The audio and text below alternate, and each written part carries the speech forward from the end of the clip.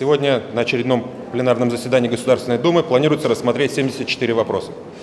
Это один из обсуждаемых сегодня вопросов, внесенных группой депутатов от Единой России о ограничении полетов беспилотных летательных аппаратов. Э, законопроект вызывает много вопросов. В частности, им дается право сотрудникам полиции, Росгвардии, Федеральной службы охраны и другим силовым структурам на временный промежуток времени ограничивать пролет беспилотных летательных аппаратов, сбивать их э, специальными, средствами информа... э, специальными средствами информационными, нарушать их работу.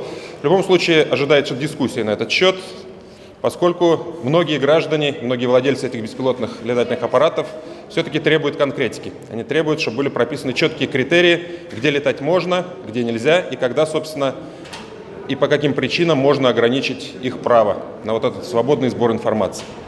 Кроме того, будет внесено большое количество законопроектов от оппозиции, э, большинство из которых планируется фракция «Единая Россия» и ее представителями в комитетах на отклонение, в том числе законопроекты КПРФ, связанные с поддержкой педагогических работников, и законопроект КПРФ, связанный с освобождением от налога на имущество многодетных семей в Российской Федерации. Одновременно мы коснемся сегодня темы прошедших выборов в Российской Федерации и якобы грандиозного успеха «Единой России». На самом деле этот грандиозный успех связан исключительно с победами губернаторов, которые шли в большинстве своим самовыдвиженцами и никак не ассоциировались с «Единой Россией», не вспоминали о своей партийной принадлежности. А второе, они шли на фоне абсолютно зачищенного поля с удалением оттуда всех соперников, которые могли навязать какую-то конкурентную борьбу.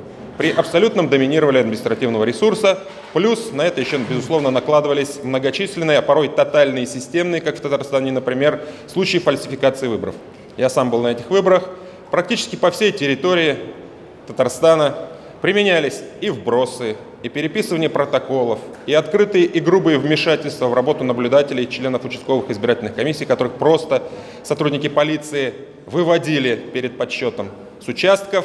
Ну, а многие участки, где были плохие результаты для партии власти, просто сворачивались после окончания голосования и уходили, не давая никакой информации, не давая никаких протоколов, естественно, за которым потом можно было бы следить или делать какие-то выводы. Поэтому, естественно, оценка была дана руководством партии, оценка в части непризнания результатов этих выборов, с требованием привлечь к ответственности и председателя э, Республиканской избирательной комиссии, безусловно, руководителя Министерства внутренних дел, поскольку сотрудники Министерства внутренних дел Татарстана во многом способствовали тому, чтобы эти фальсификации были возможны.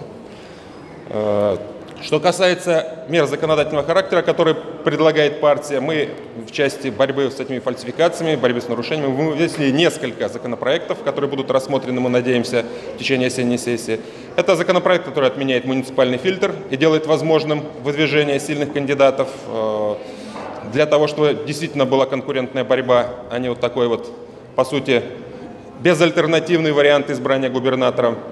Э, мы внесли еще ряд законопроектов, которые ужесточают ответственность за теми, кто фальсифицирует выборы. В том числе сегодня подготовится законопроект, который будет вводить дисквалификацию как одну из мер ответственности в случае применения административного ресурса. Когда руководитель той или иной организации, который агитирует, требует, настаивает на голосовании за того или иного кандидата, может быть отстранен и лишен своей должности. На наш взгляд, это будет достаточно эффективным способом борьбы впредь с подобного рода проявлениями административного ресурса. Едва ли не центральным вопросом сегодняшней повестки дня будет правительственный час с участием министра науки и высшего образования Михаила Катюкова. Без науки невозможен тот самый экономический прорыв, без которого, я извиняюсь, невозможно будущее страны. Дело в том, что с 2013 года в стране экономическая стагнация – Владимир Путин говорил, что на, 7, на 25% нашей проблемы от санкций, а на 75% мы сами не доработали. Кто это сами? Думаете сами. Стагнация хуже экономического кризиса, потому что экономический кризис имеет собственную логику, когда за спадом следует подъем, а стагнация может длиться сколько угодно долго и требует чрезвычайных усилий от правительства. Не случайно не только мы, там в лице Геннадия Зюганова, но и э, Союз промышленников предпринимателей, Вольное экономическое общество и так далее, и так далее, Академия наук требует новой индустриализации. Что такое новая индустриализация? Одна из главных составляющих частей – это интеграция науки, образования и производства. Что у нас с наукой? Э, начнем с того, что согласно международным нормам государственные расходы на науку должны составлять 2% от валового внутреннего продукта. В Израиле, например, 4 с лишним. У нас, согласно указу президента, в 2015 году, я извиняюсь за обилие цифр, но без этого будет непонятно, по указу президента э, от мая 2012 года, в 2015 году расходы на науку должны были составить 1,77 от валового внутреннего продукта. По официальному заключению Комитета по образованию и науке в 2019 году будет 0,38, в 2020 0,39, в 2021 снова 0,38. Говорю по-русски – указ президента недофинансируется в четыре с половиной раза. Возникает вопрос, а кто в доме хозяин? Президент, который издает указы, или Минфин, который выделяет на это деньги? Надо отдать должное при этих очень низких затратах. Российская наука как-то живет, совершает открытие, но в другом указе президента – уже теперь от 2018 года, номер 204, написано, что мы должны создавать условия для привлечения в науку молодых ученых. Если верить Российской Академии Наук, то в 2013 году у нас из страны уехало 20 тысяч молодых ученых, в 2016 44 тысячи молодых ученых. Сегодня мы спросим э, министра, каковы последние данные на эту тему, удалось ли переломить эту тенденцию. Кстати, напоминаю, по оценкам Германа Грефа, с которыми я далеко не всегда согласен, по оценкам Германа Грефа, потери страны, пересчитанные в деньги от утечки умов, превышают потери от утечки обычного капитала, которые за послесоветское время превысили 2 триллиона рублей. Потери человеческого капитала важнее, Доллар. значительнее, в долларах. А, что, я сказал рублей? Да. Долларов, конечно, я оговорился, извините. Что касается других системных проблем образования, э, ключевая тема, конечно, это кадры. Э, деньги решают не все, все решают кадры, но кадры в значительной степени зависят от денег. Э, по официальным данным российского правительства, средняя заработная плата в российской науке – это 94 тысячи рублей. Правда, когда я спрашиваю моих коллег, работников науки, Получают ли они 94 тысячи рублей? Большинство из них крайне удивляются эти, этой цифре. Почему так получается? С одной стороны, колоссальный уровень неравенства в оплате труда ученых.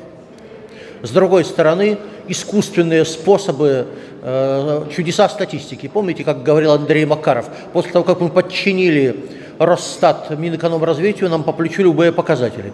Вот эти показатели нам тоже по плечу. Ну, например, э, Организации нужен компьютер. Позарез. Организация знает, что она должна повышать зарплату научным сотрудникам. Выписывают премии, скидываются, покупают компьютер. После этого кто-нибудь недовольный жалуется и начинаются расследования. И это только один пример, наиболее частый пример, перевод на неполную ставку с расчетом, соответственно, исходя из полных ставок и так далее, и так далее, и так далее. Интенсификация труда. Короче говоря, мы считаем, что нам необходимо повышать долю базового оклада в оплате труда российского ученого. Иначе э, а, они так и будут удивляться, откуда взялись средние данные по, по их заработной плате. Примерно то же самое по заработной плате вузовских преподавателей. Это тоже в большинстве работники науки. По официальным данным 84 тысячи. Ну вот два года назад Общероссийский народный фронт, обращаю ваше внимание, не фракция КПРФ, Общероссийский народный фронт провел исследование. И оказалось, что указ недовыполняется в два с половиной раза. Напоминаю, согласно указу, средняя зарплата российского вузовского преподавателя должна составлять две средние по региону. Недовыполняется в два с половиной раза.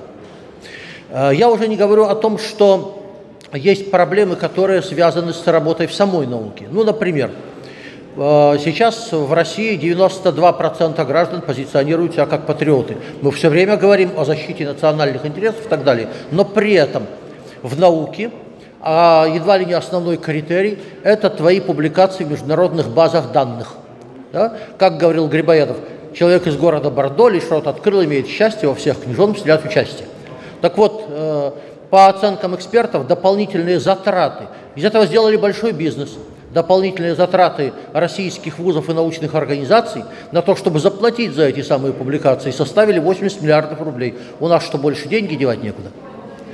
Мы э, понимаем, что большинство проблем возникли не при современном руководстве Министерства науки и высшего образования. Мы готовы с ним работать по, по решению этих проблем, но подчеркиваем еще раз, без радикального улучшения ситуации с финансированием науки, с оценкой научных результатов, э, новая индустриализация не, не состоится – без нее не состоится модернизация страны. Это колоссальнейшая угроза национальной безопасности нашей России. Нам, как воздух, нужна модернизация и экономический прорыв.